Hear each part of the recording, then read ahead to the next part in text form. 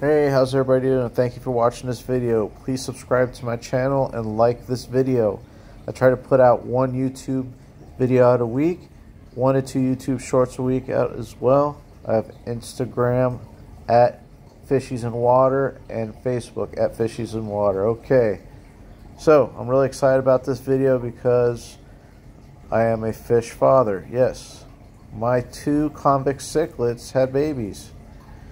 Somebody warned me, uh, left me a comment probably about a month or two ago on one of my videos when they saw the, the two cichlids together and all they said was, you're going to have a lot of fish. And I was like, yeah, whatever. Because I cleaned the tank and all that stuff.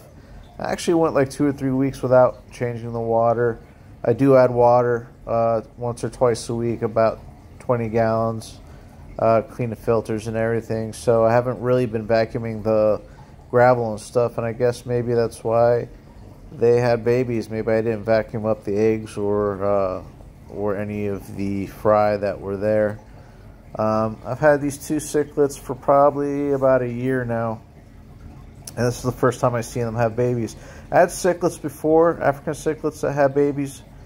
Uh, they were all blue, and um, a lot died when I had gotten ick in my uh, community tank. Uh, and that's when I started um, quarantine my fish before I put them in the community tank.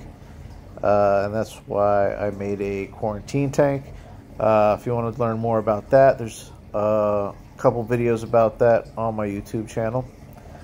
Uh, anyways, so yeah, I went like two or three weeks without cleaning the uh, tank because I was I was busy with family stuff.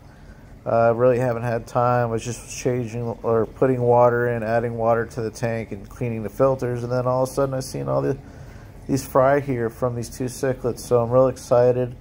Uh, I have the video out here.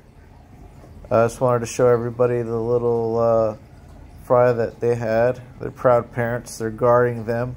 Some people are asking me if they were eating them and stuff. But no, they're protecting them.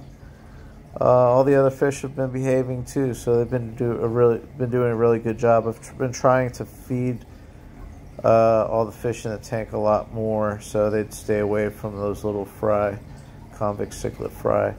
Um, it's going to be really exciting because I'm going to have a lot of content about these fry growing up, and maybe I'll give some away, or you know, if anybody's interested, maybe I'll, I'll send some to you. All right, again, thank you for watching this video. I really appreciate you watching my channel. Uh, like this video, subscribe to my channel, and I'll talk to you guys later. Thank you.